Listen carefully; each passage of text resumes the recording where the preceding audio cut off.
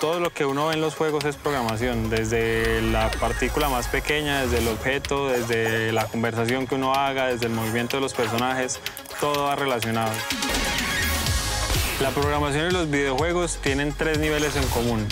Nivel número uno, la lógica. La lógica, si no se la aplicamos a resolver los problemas que de pronto nos podamos encontrar, eh, ya sea programando o pasándonos un videojuego, no vamos a poder lograrlo.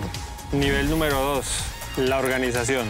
Si no somos ordenados, si no tenemos las ideas claras y vamos aplicando cosas y vamos haciendo cosas sin tener un orden, podemos llegar a no completar nuestro objetivo.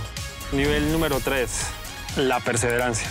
Si no somos perseverantes y lo intentamos una y otra vez así fallemos, eh, nunca vamos a llegar a la solución. La idea es que en los videojuegos y en la programación, si nos encontramos un problema muy grande, lo dividamos en varios pedazos e intentemos lograrlo hasta que podamos conseguir el objetivo.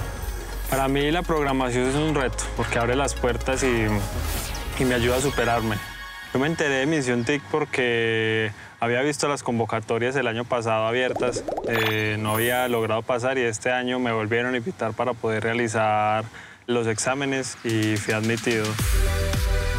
Los invito porque eso es una experiencia buena, nos abre muchas puertas, es, una, es un mundo nuevo donde puede uno desarrollarse, donde puede uno expresar muchas cosas y no los animo a que, que se unan porque la verdad es que es muy buen aprendizaje.